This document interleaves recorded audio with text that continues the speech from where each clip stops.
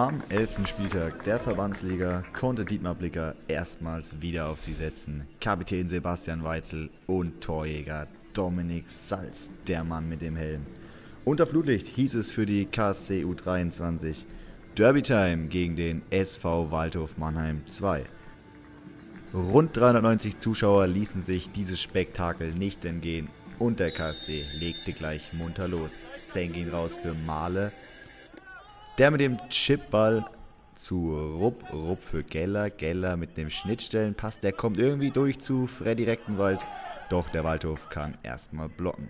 Einwurf wenig später für Waldhof Mannheim 2 auf der rechten Seite. Der KSC kommt da dazwischen. Da ist Salz für Rupp. Rupp mit der Hacke zu Weitzel. Der probiert es einfach mal. Und die abgefälschte Bogenlampe landet im Tor.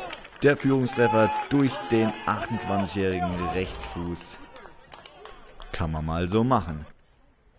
Die Führung beflügelte den KSC. Das ist Bauer, der raus für Freddy Rechtenwald. Kleine Körpertäuschung, Platz für die Flanke. Und die findet Marlon Dinger. Doch der Abwehrchef scheitert an Pummerin. Auf der Gegenseite mal die Gäste mit etwas Platz ausgestattet. Die erste Torannäherung, allerdings keine Gefahr für Aki Koch. In der 41. Spielminute dann Weitzel etwas zu kurz für Bauer, der allerdings gut klärt. Geller pflückt den runter für Enes Zengin. Und dann ein Spielzug zum Genießen. Der KSC über die linke Seite. Schön und schnell direkt gespielt. Rupp mit viel Platz im Zentrum ausgestattet und im Auge für Freddy Rechtenwald. Freddy mit der Flanke für Sebi Weitzel. Der Kapitän mit seinem zweiten Tor. Der KSC heute einfach die griffigere Mannschaft. Nächstes Beispiel: Balleroberung Geller und wieder ging's schnell. Rupp raus für Weitzel.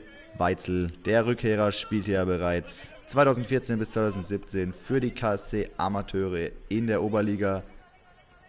Der Ball von Geller für Dominik Salz. Allerdings kann Pumarin entschärfen.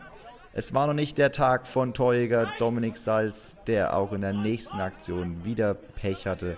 Male, der zunächst den Ball verliert, aber irgendwie dran bleibt. Weitzel wieder ein Waldorfspieler dazwischen, aber der KSC setzte immer wieder energisch nach. Noah Rupp für Salz mit links, allerdings wieder nur zweiter Sieger im 1 gegen 1. Der arbeitende Vollblutstürmer mit dem Helm auf dem Kopf, auch in der nächsten Aktion Ballgewinn Weitzel, da steht er allein vorm Tor, allerdings verzieht er knapp drüber. In der 66. Spielminute war es dann soweit. Dominik Salz sollte seinen ersten KSC-Treffer kriegen. Male, Geller, Rupp, das geht alles zu schnell für den Waldhof. Rupp für Salz und dieses Mal keine Chance für Pummerin. Und das ganze Team freute sich für den 37-jährigen Torjäger. Wir sehen in der Wiederholung, es war kein Abseits beim Zuspiel des starken Schweizers und Dominik Salz markiert den 3 zu 0 Endstandstreffer am Freitagabend. Die Stimmen zum Spiel.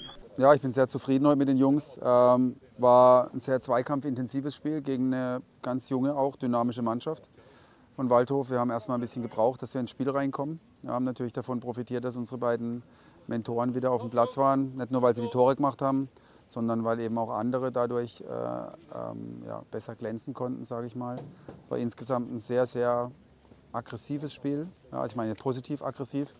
War sehr zufrieden mit den Jungs, haben sehr viele Zweikämpfe gewonnen, sehr viele Chancen rausgespielt. Ähm, also insgesamt wirklich ein guter Auftritt von uns. Also wir haben das umgesetzt, was wir uns heute vorgenommen haben, giftig gegen den Ball zu sein, vor dem Tor die Chancen zu nutzen und hinten nichts zuzulassen. Und das ist uns ganz gut geglückt heute. Ja, also grundsätzlich glaube ich, dass es eine super Teamleistung war, jetzt auch bei den Toren, weil wir vorne gut in, in die Zweikämpfe gekommen sind, hohe Ballgewinne hatten und dann ist halt dieser Spruch, den man kennt, wenn man nicht aufs Tor schießt, kann man nicht treffen. Das erste war ein bisschen glücklich, das zweite machen wir super, wo wir über außen durchkommen und Freddy eine klasse Flanke bringt und dann ist es nicht mehr ganz so schwer, den Ball reinzuköpfen. Ja, also die Spieler, die sowieso zum Kader gehören, haben ihre Leistung gebracht. Die äh, verletzten Spieler, die wieder äh, fit sind, haben eine gute Figur abgegeben, aber auch die Spieler, die von oben runtergekommen sind. Also Noah Rupp äh, aus meiner Sicht wirklich ein sehr, sehr gutes Spiel, vor allen Dingen mit Ball auch gemacht. Äh, Robert Geller, Enes Zengin, alle sehr bemüht und auch äh, Bene Bauer ein klarer Schritt nach vorne gemacht auch. Freut mich auch für die Jungs, dass sie jetzt in Ulm dabei sind. So soll es eigentlich in einem Verein laufen. Ja, die Spieler kommen äh, runter, holen sich Spielpraxis.